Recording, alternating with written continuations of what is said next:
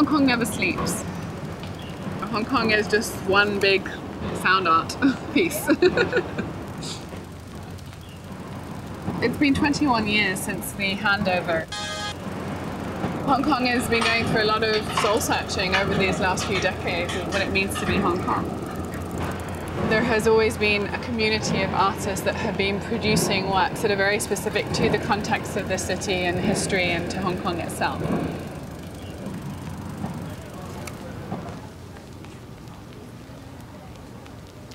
The Adro Archive was founded 18 years ago as an independent non-profit organisation based in Hong Kong, but with the purview to call for a more generous art history.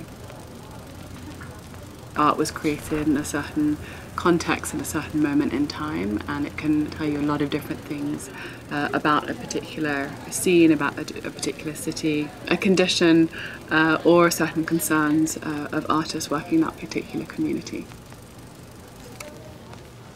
when you look at where and how art history has been written, it's predominantly from a Euro-American perspective. And so for the last 18 years, we've been dedicated to building this library and also digitizing archives across the region. We began very China focused. So for the last 10 years, we've also been working in India and working on a number of archives and projects there.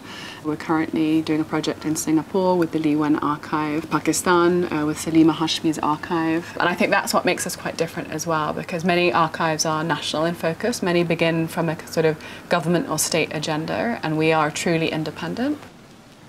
From the beginning, the Asia Archive was conceived as more than a static collection of material, gathering dust on a shelf, waiting for the scholar to pull it out. It was always uh, something that was meant to be active, and so over the last 18 years, we have presented hundreds of different public programs, and then also really thinking about the archive as a creative space. And so we've had artist residencies ongoing for the last decade.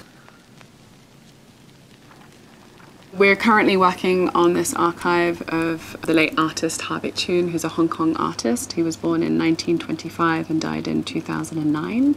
And as well as his artistic practice, he was also an incredible archivist as well. We are actually now in a space that's the second life of Ha Bik Chuen's archive. He kept all of his archival materials in his um, former studio in To Kwa Wan in Kowloon. The archive was pretty much left um, the way it was after he passed away, and in 2013 2014, the family approached Asia Art Archive to invite us to work on this really amazing trove of art history, and that's how we started working on this archive. Well, there's very little material on the art history of Hong Kong, say in the 60s, when there were very few exhibition spaces. In here, you actually find actual invitation cards giving you the venue, the participants, the date, so it really fills in that gap of not really knowing what happened in the 60s and 70s.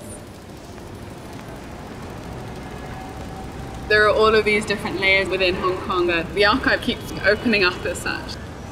I think a lot of people are very uncertain about the future of Hong Kong, but we can give individuals a different way to perceive the world, to perceive their lives through art and through artists.